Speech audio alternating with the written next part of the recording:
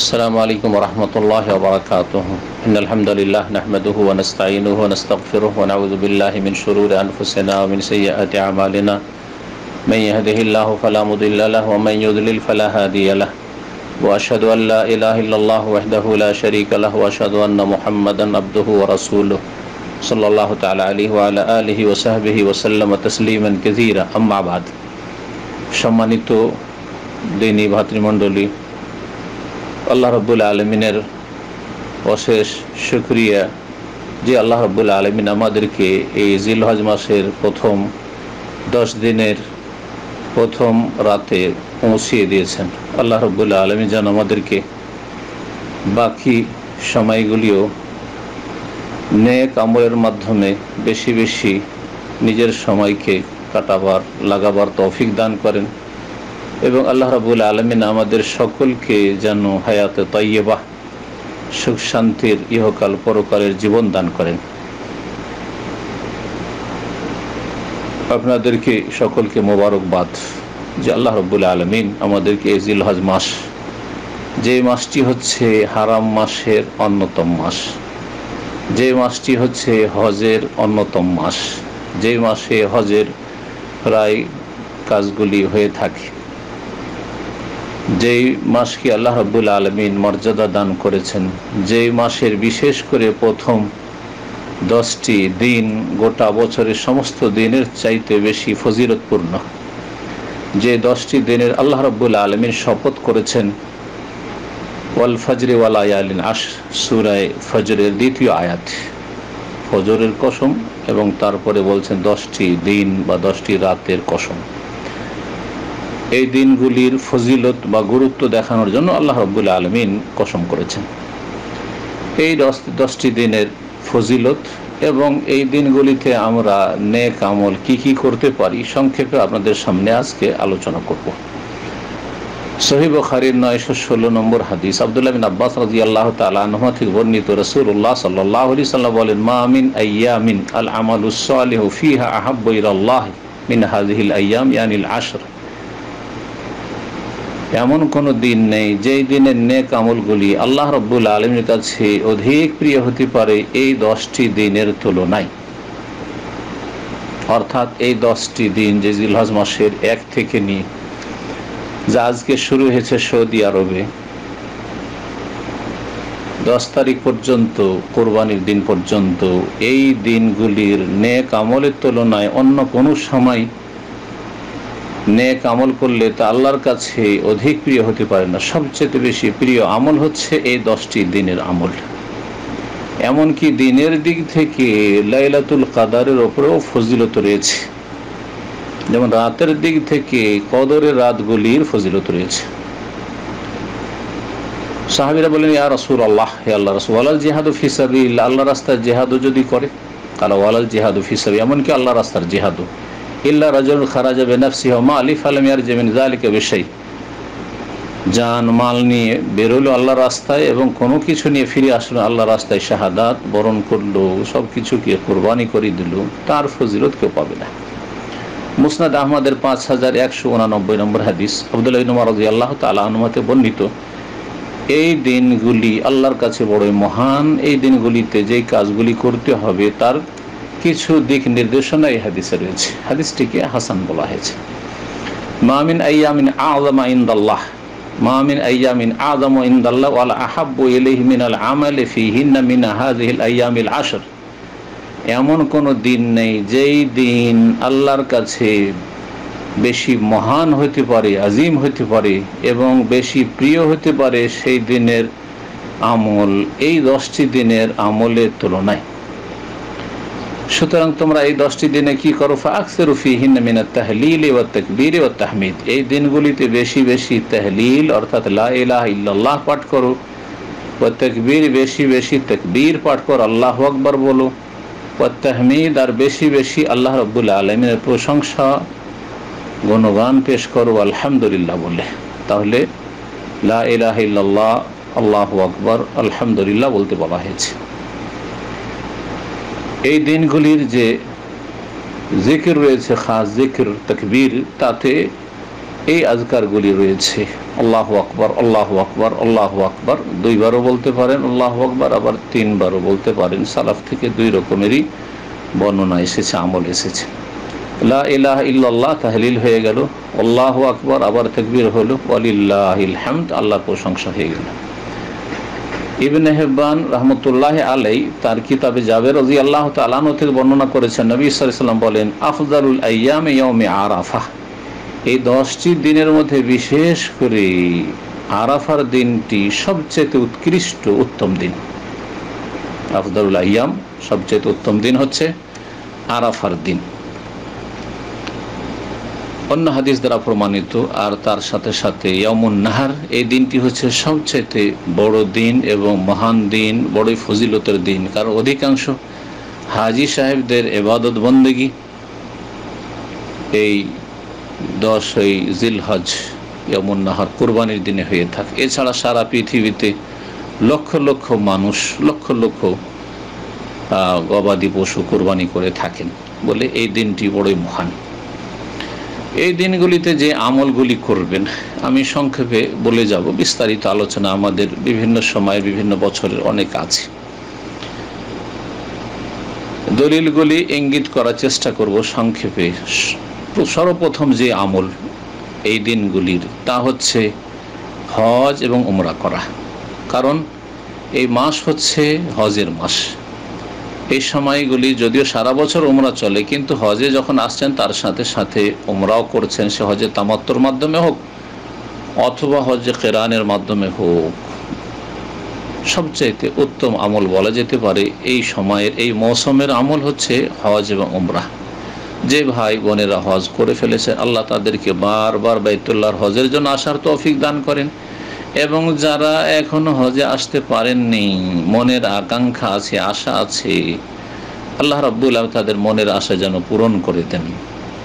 যারা হজ করেছেন, তাদের হজকে যেন আল্লাহ কবুলিয়াত দান করেন।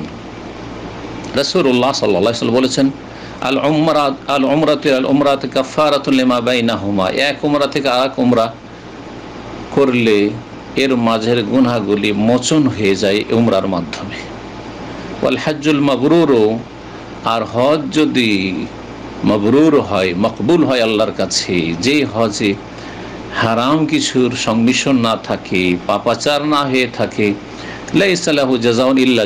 তার জাজা বদলা একমাত্র জান্নাত, যেটি সমস্ত ইমান এবং নেক আমলের মুখ্য উদ্দেশ্য। এছাড়াও হজ উমরার ফজিলতে বহু হাদিস রয়েছে। দ্বিতীয় যে আমলটি করবেন তা হচ্ছে এই দিনগুলির যথাসাধ্য সেয়াম পালন করা, রোজা রাখা।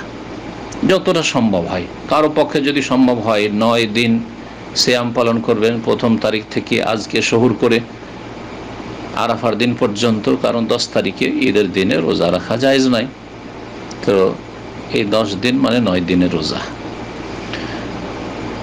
আর যদি তা সম্ভব না হয়, তো যতটা সম্ভব তিনটি রাখবেন।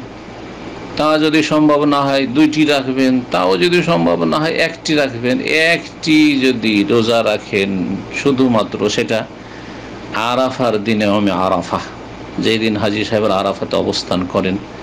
তাহলে ইনশা আল্লাহ তালা গত এক বছর, আগামী এক বছরের গুণা মাফ হবে। জি। নবী করিম ইসলাম সহি মুসলিমের এই মর্মে হাদিস রয়েছে। আবু কাতাদি আল্লাহ বর্ণিত বলেন, নবী সাল্লাম বলে অমে আরাফা, আরাফার দিনের সিয়াম, আহতাসিব আল্লাহ, আল্লাহর কাছে আমি আশাবাদী। ওয়াল্লাতি গত এক বছরের গুনহার মোচন করবে আর আগামী এক বছরের গুনহার মোচন করবে।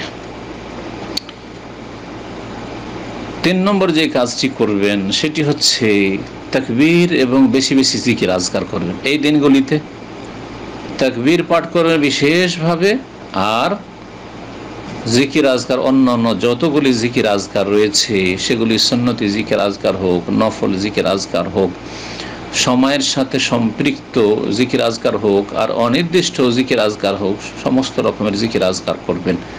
মহান আল্লাহ রব্বর সুরা হজর আট নম্বর আঠাশে ওয়াজকুর উসমাল্লাহি আয়ামি মালুমাত আর তারা আল্লাহর নামের জিকির আজকার করবে, আল্লাহর নাম স্মরণ করবে জানাশোনা কয়েকটি দিনে এই আয়ামে মালুমাতের তফসির মুফাসিরিনগণ করেছেন, তা হচ্ছে আশর জিলহিজা জিলহজ মাসের প্রথম দশক। জি। তো এই জিকির আজকার। এছাড়া আয়ামে মাদুদা যে আতে বলা হয় সুরাতুল বাকারায় অজকরুল্লাহ ফি আয়ামে মাদুদাত হাতে গনা কয়েকটি দিনে তোমরা জিকির আজকার করো আল্লাহর। এই দিনগুলি হচ্ছে আয়ামে তশরিক। তাহলে এই দুটো আয়াতের সমন্বয় করলে এইদিকে দশ দিন আর ওই দিকে আয়ামে তশরিক এগারো, বারো, তেরো তারিখ পর্যন্ত আল্লাহর জিকির আজকার করবেন। যেমন এর আগে মুসনাদ আহমদের হাদিস আপনাদেরকে শুনেলাম। ইমাম বুখারি রহমাউল্লাহ আবদুল্লাহ বিন উমার এবং আবহাওয়া রাজি আল্লাহ তালা আনহু থেকে বর্ণনা করেছে, আন্নাহমা কান একরোজান এলা সুখ। তারা এই জিলহজ মাসের দশটি দিনে বাজারে চলে যেতেন, অথচ তাদের কোনো বাজারে কেনাকাটা থাকতো না। ফয়োকাব বেরুন ওয়কাব বেরুন তাকবির তাকবির তারা জোরে জোরে তাকবির পাঠ করতেন যাতে করে লোকেরা শুনে শুনে তাদের অনুসরণে তারাও তাকবীর পাঠ করে, তারাও শুনে শুনে তাকবীর পাঠ করত। তো তাকবীর জোরে জোরে পাঠ করতে হবে, মানুষকে শোনাতে হবে যাতে করে লোকেরা স্মরণ করে। জি।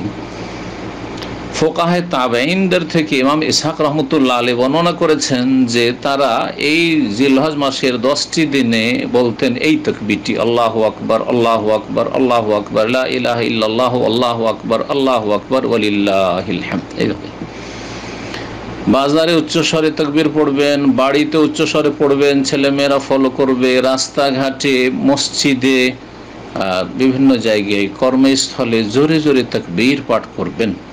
আল্লাহ রব বলে তোকে বেরুল্লাহ আলামা হাদাকুম। আল্লাহ রব্বুল আলমিন যে তোমাদেরকে হেদায়ত দান করেছেন, এর জন্য তার মহত্ব, বড়ত্ব ঘোষণা করো, তকবীর পাঠ করো। সুরে বাকার আয়াত একশো পঁচাশি।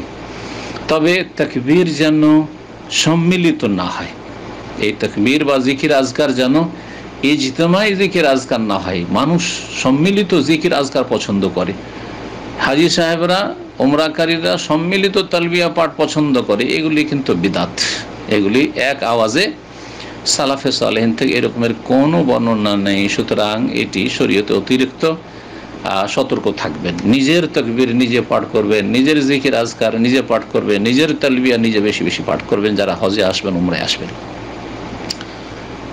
চার নম্বরে যে কাজটি করবেন তা হচ্ছে তওবা করা। তওবা করা মানে আল্লাহর দিকে ফিরে আসে। গোনা বন্ধ করে দেওয়া। আর তারপরে গোনার ওপর অনতপ্ত লজ্জিত হওয়া আর তার সাথে সাথে আগামীর জন্য প্রতিজ্ঞা করা যে আমি আর এই গোনা কখনো করব না।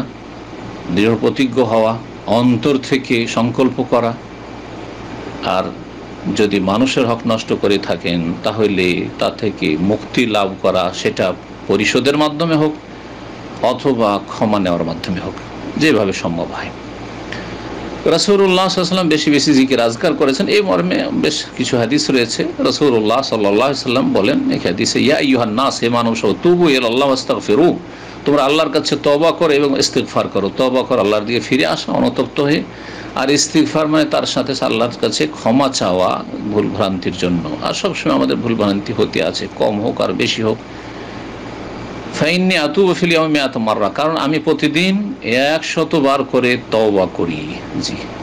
আর তওবা বিশেষ মোবারক স্থানে আর মোবারক সময়গুলোতে তবার গুরুত্ব বেশি। সুতরাং এই মোবারক সময়গুলিতে গুরুত্ব সহকারে বেশি বেশি তবা করবেন ইস্তেফার করবেন। পাঁচ নম্বরে যে আমলটি করবেন, সেটা হচ্ছে যে কোনো নেক আমল বেশি বেশি করার চেষ্টা করবেন। সেটা সলাথ হোক ফরজে পরে বেশি বেশি নফল সল্লাহ যারা সারা বছর তাহাজুদ পড়তে পারছেন না, এই দশটি দিনে তাহাজুদ পড়ার চেষ্টা করবেন। কোনো অসুবিধা নেই। তাহাজুদ সম্পর্কে আমাদের দেশের ধারণা যে যে শুরু করবে, তার জন্য সারা জীবন চালাইতে হবে, আর না হলে গুণাগার হবে। ভুল কথা। উত্তম হচ্ছে নফল এবাদত বন্দিগি শুরু করলে সন্ন্যত মুস্ত এবাদত বন্দিগি কন্টিনিউ করা। আর যারা সলাতুদ্দোহা পড়েন না, তারা সলাতুদ্দোহা পড়ার চেষ্টা করবেন। সাদাকা শুধু রমজান মাসে আমাদের দেশের লোকেরা দান খায়রাত বেশি করে না, সাদাকা বেশি বেশি সাদাকা খায়রাত করবেন। কোরআন তেলাওয়াত করবেন, গুরুত্বপূর্ণ জিকিরিট গুরুত্বপূর্ণ নেক আমল। কোরআন তেলাওয়াত করবেন, কোরআন মুখস্থ করবেন, কোরআনের শিক্ষা দেবেন, এলেমের চর্চা করবে, এলেম শিখবেন এবং শিখাবেন। খাইরুকমান তা আল্লাহ কোরআন ও আল্লামা, তোমাদের মধ্যে সবচেয়ে উৎকৃষ্ট যে কোরআন শিখে এবং শিখায়। ভালো কাজের উপদেশ দেবেন, অন্যায় কাজে বাধা দেবেন, এইরকম জনকল্যাণমূলক যে কোনো নেক আমল করবেন। নেক আমলের মধ্যে আর একটি গুরুত্বপূর্ণ দিক হচ্ছে মানুষের হকের ক্ষেত্রে বাবা মায়ের সাথে সদ্ব্যবহার। সবসময় করবেন, কিন্তু এই সময়টাই তার নবায়ন করার চেষ্টা করে, বেশি বেশি করবেন। কাছে থাকলে তাদের বেশি বেশি সন্তুষ্ট করার চেষ্টা করবেন। তাদের ক্ষেত্রে বেশি বেশি নেক আমলের চেষ্টা করবেন দূরে থাকলে বেশি বেশি যোগাযোগের চেষ্টা করবেন।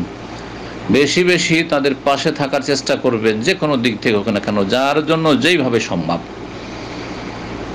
এবং তারা যদি কষ্ট পেয়ে থাকে, তাদের কাছ থেকে ক্ষমা নিয়ে নেবেন।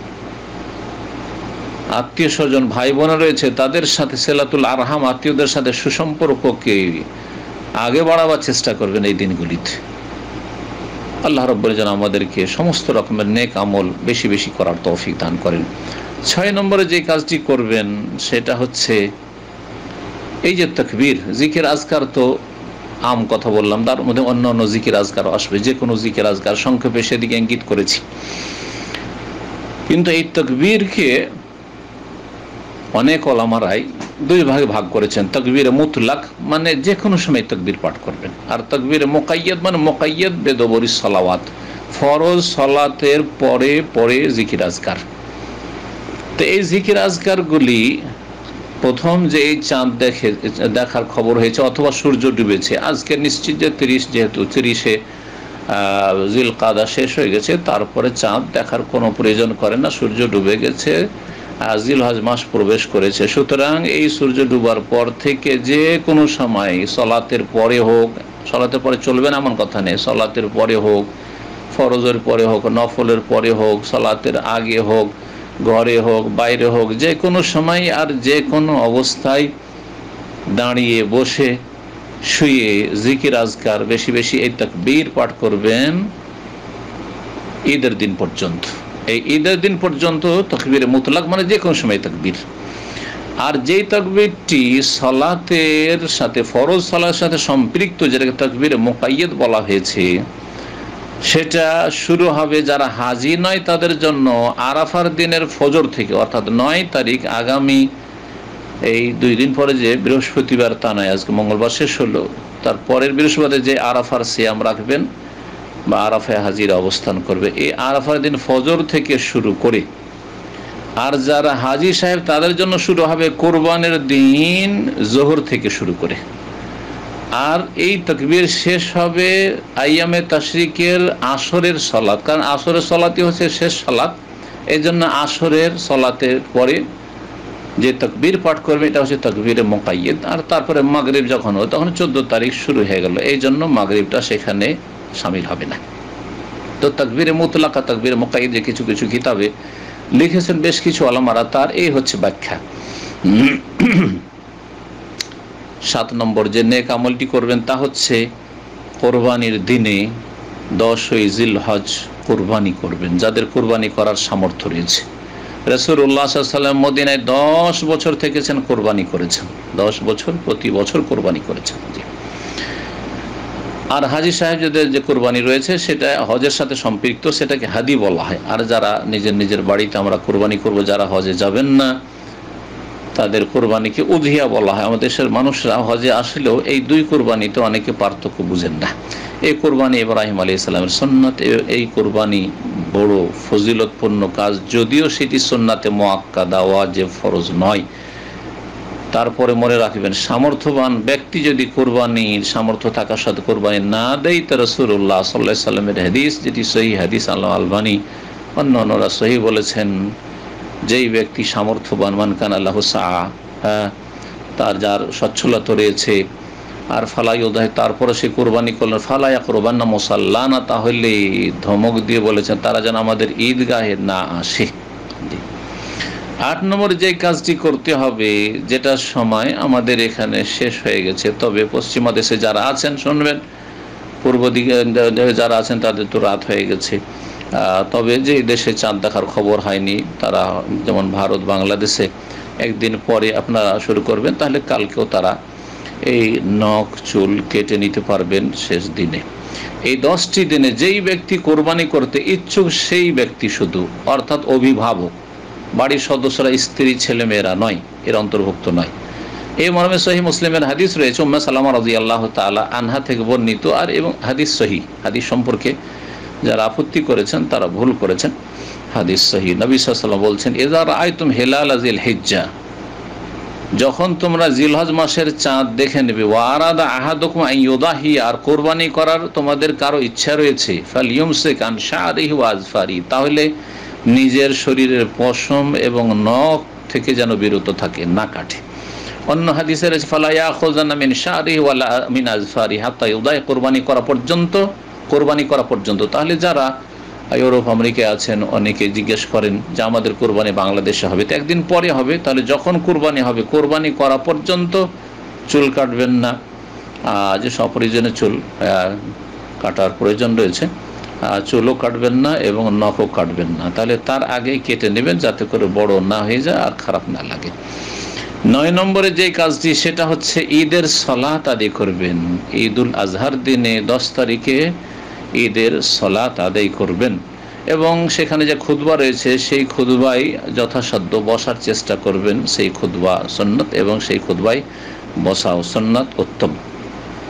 এই দিনে অধিকাংশ মুসলিম নর এবং নারীরা, যুবক, যুবতীরা পাপে জড়িয়ে পড়ে, আল্লাহ যেন হেফাজত করেন। আমাদের ইসলামের ঈদ পাপ করার জন্য নয়, বরং এবাদত বন্দীগীর জন্য, আল্লাহর শুক্রিয়া জ্ঞাপনের জন্য, আল্লাহ জিকির আজকারের জন্য, নেক কাজের জন্য। কাফেরদের যে ঈদ পরব রয়েছে, তা হচ্ছে পাপের জন্য। সুতরাং কাফেরদের সাথে যেন আপনাদের সদৃশ্যতা না থাকে। কাফেরদের মোকাল্লেদ অন্ধ অনসারী হয়ে যাবেন। না, জি, কাফেরদের গর্তে ঢুকবেন না। আল্লাহ রব্বুল্লাহ যেন হেফাজত করেন। দশ নম্বর, আর এটি দিয়ে শেষ করব, সেটা হচ্ছে বেশি বেশি আল্লাহর সন্তুষ্টিমূলক কাজ করবেন। বেশি বেশি আল্লাহ রব্বুল আলমিনের জিকির আজকার করবেন। বেশি বেশি আল্লাহ রব্বুল আলমিনের শুক্রিয়া আদায় করবেন যে আল্লাহ রব্বুল আলমিন আমাদেরকে এই দিনগুলি দিয়েছেন। এই সময়গুলিতে আল্লাহ সুযোগ দিয়েছেন, সুস্থতা দান করেছেন ইমানের অবস্থায় রেখেছেন। কত লোক দুনিয়া থেকে চলে গেছে, মমিন, মুসলিম। কত লোক আছে কিন্তু তারা কাফের, অমুসলিম অথবা মুসলিম পাপিস্টু আলহামদুলিল্লাহ, আল্লাহ আমাদেরকে সুস্থতাও দিয়েছেন, হায়াতও দিয়েছেন, সময় সুযোগও দিয়েছেন এবং ইমানি জজবাও দিয়েছেন। আল্লাহ রবুল আলমিনের শুক্রিয়া আদায় করে বেশি বেশি। এবং শুক্রিয়া অন্তর থেকে করতে হবে, শুক্রিয়া করতে হবে, জবান দ্বারা শুক্রিয়া আদায় করতে হবে কাজ কর্মের মাধ্যমে, নেক আমলের মাধ্যমে এবং গোনা থেকে বেঁচে থাকার মাধ্যমে। আল্লাহ রব্বুল আলমিন এই আরাফার দিনের ফজিলত রেখেছেন বড় ফজি সহি মুসলিম এই মরিম হাদিস রয়েছে, মা মিন ইয়মিন আকসার মিন আইয়ুতে আল্লাহ ফিহে আবদম মিনান্নার মিন ইয়মে আরাফা। এমন কোনো দিন নেই যেই দিনে আল্লাহ রব্বুল আলমিন সবচাইতে বেশি জাহান্নাম থেকে বান্দাকে ছাড় দেন বা মুক্ত করেন আরাফার দিনের চাইতে। মানে আরাফার দিনের সবচেয়ে বেশি আল্লাহ রব্বুল আলমিন জাহান্নাম থেকে যারা মুসলিম কিন্তু পাপের কারণে জাহান্নামি হয়ে গেছে তাদেরকে জাহান্নাম থেকে মুক্ত করেন, অর্থাৎ তাদের গুনা খাতা মাফ করেন যদি তারা আল্লাহর দিকে ফিরে আসে। বিশেষ করে যারা হজে এসেছেন তারা, আর যারা হজে আসতে পারেননি অভাবের কারণে অথবা হজ করে ফেলেছেন তারা সেদিন নেক আমল করল, আরাফার সিয়াম রাখল, আল্লাহ রব তাদেরকে জাহান্নাম থেকে মুক্ত করে। ওয়াইন্নাউল্লাহ ইয়াদনু, আল্লাহ অত্যন্ত নিকটবর্তী হয়ে যান আরাফার অধিবাসীদের। সুম্মা ইউবাহি বেহমুল মালায়ক, তারপরে ফেরেস্তাদের সামনে আল্লাহ রব্বুল আলমিন গৌরব করেন। আর বলেন, ফায়াকুল, মা আরাদাহা এদের উদ্দেশ্য কি? এরা কেন এখানে এসেছে? এত টাকা খরচ করে, এত কষ্ট করে, আর এত পেরেশানি উঠিয়ে কেন তারা এসেছে? জি, তো আল্লাহ রব্বুল আলমী যেন আমাদেরকে এই সমস্ত নেক দরজা দিয়ে, আর নেকির দরজা দিয়ে আল্লাহ রব্বুল নেক আমলের জগতে দিগন্তে প্রবেশ করার তৌফিক দান করেন এবং আল্লাহ রব্বুল আলম যেন আমাদের নেক জীবনে বরকত দান করেন এবং নেকি করার তৌফিক দান করেন, গুনহার কথা কাজ থেকে বেঁচে থাকার তৌফিক দান করেন। রব্বুল আলমিনের কাছে দোয়া করি, আল্লাহ রব্বুল আলমিন আমাদের জীবনে সার্বিক কল্যাণ করেন। যেসব ভুল ভ্রান্তি গোনা খাতা হয়েছে, আল্লাহ যেন ক্ষমা করে দেন। ইচ্ছা যদি করেন, তাহলে খুব সহজে আপনি এই দশটি দিনে এক খতম কোরআন দিতে পারবেন, যারা খতম করতে চান। তিন পারা করে এক ঘণ্টা, চব্বিশ ঘণ্টার মধ্যে মাত্র এক ঘণ্টা পড়লে যে কোনো ব্যক্তি বিশ মিনিটে এক পারা কোরআন, এক জুজ কোরআন পড়তে পারত। তাহলে দশ দিনে আপনার এক খতম হয়ে গেল। কিন্তু সংকল্প রাখতে হবে, সৎ নিয়ত রাখতে হবে, তাহলে আল্লাহ তৌফিক দেবেন। আল্লাহ যেন আমাদের সকলকে তৌফিক দান করেন। জিকির আজকার সম্পর্কে বলছিলাম, জিকির আজকার বলবেন না। রসুল সাল্লামের যেসব জিকির আজকার রয়েছে। তার মধ্যে সহিব বখারি শেষ হাদিসের জিকির আজকার। সুবহান আল্লাহ আহমদি সুবহান আল্লাহ আজিম দাঁড়ি পাল্লায়, নেকির পাল্লাতে অনেক ভারী, আল্লাহর কাছে অত্যন্ত প্রিয় এবং জবানে খুব হালকা। সুবহান আল্লাহ আহমদেহি সুবহান আল্লাহ আজিম আরও একটি গুরুত্বপূর্ণ জিকির যে বহু গুণে বর্ধিত হয়ে থাকে নেকি তার। সেটি হচ্ছে সুবহান আল্লাহ হামদেহি আদাদা খালকেহি ওয়ারেজা নফসিহি ওয়াজেনাত আরশি মেদাদা কালিমাতিহি। কালিমা তৌহিদ, লা ইলাহা ইল্লাল্লাহ ওয়াহদাহু লা শারীকা লাহু, লাহুল মুলকু ওয়া লাহুল হামদু কুল্লি শাইইন কাদির। যেটি সবচেয়ে উত্তম, উৎকৃষ্ট আরাফার দিনের দোয়া। হাজি সাহেবদের জন্য এবং যারা হাজি নয়, তাদের জন্য, সবার জন্য হ্যাঁ নবী সাল্লাহ বলছে খাইর মাকুল তানাওয়ান নবী নমিন কাবলি। সবচেয়ে উৎকৃষ্ট যে দোয়া, তৌহিদের ঘোষণা আমি এবং আমার পূর্বের নবীরা বলেছি এবং তারা বলেছেন, তা হচ্ছে, লা ইলাহিল্লাহ ওয়াহদাহুল আশরিক আলাহুল মুলক আলাহুল হামদু আলা কুল্লি শাইইন কাদির। আল্লাহ রব্বুল যেন আমাদের নেক জীবন দান করেন, নেক হায়াত দান করেন, সুস্থতার হায়াত দান করেন। আল্লাহ রব আমাদের যেন মহামারী থেকে হেফাজত করেন বালা মুসিবত থেকে হেফাজত করেন। আমাদের আমাদের পরিবার, পরিজনের এবং আমাদের যেসব ভাই বোনেরা আমাদের এই দিনের কথাগুলি শুনবেন এবং আমল করার চেষ্টা করবেন, আল্লাহ রব তাদের যেন দুনিয়া আখেরাতের সার্বিক শান্তি দান করেন এবং আল্লাহ আমাদের সকলকে জান্নাতুল ফিরদৌস দান করেন। আল্লাহ যেন আমাদের সকলকে কবুল করে নেন। সুবহান রব্বিকা রব্বিল ইজ্জাত আম্মা ইয়াসিফুন ওয়া সালামুন আলাল মুরসালিন। ওয়ালহামদুলিল্লাহি রাব্বিল আলামিন।